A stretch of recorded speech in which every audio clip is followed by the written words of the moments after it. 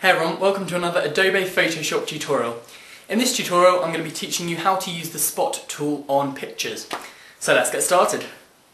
Okay, so we've got Photoshop open and I have opened an image.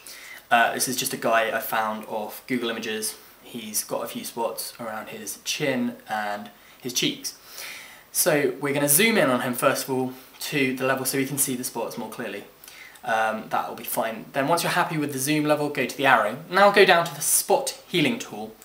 Um, hold down and go down to the spot healing tool, which is the first one. as you can see, that's quite big. So go to the top.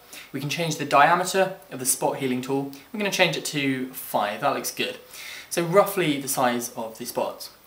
And it's really simple. You just left click on a spot to remove it. So we're clicking it and it's gone. And we're going to get rid of this one and this one and this one. And we just go around the face just slowly one by one removing the spots and lightening them making them blend in with the face. Because what the spot healing tool does is it takes uh, a sample of the colour next to where the spot is and replaces the spot with that colour. So we're going to do this um, a few times. And now occasionally um, it will not work and it will start looking a bit kind of wrong and not blending in properly. If it does, just go to edit, undo, and edit. Oh, I just, oh, sorry, redo.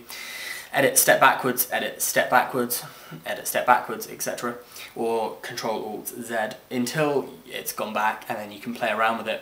Now this tool is really great for, as I said, removing spots or removing a bit of dust that you've got on a camera lens. If you've taken a picture and there's a bit of dust, you can remove it with that.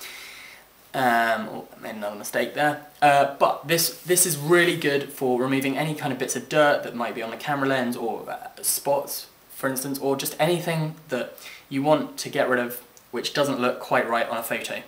So you can play around with this until you are happy with the changes. We're just gonna keep removing all of these all of these spots one by one, and uh, after a while, it will look like this. Here's the before shot, and here is the after shot. Hope you enjoyed the video tutorial. Have fun editing your photos and improving them. Thanks for watching guys. Please don't forget to rate, comment and subscribe.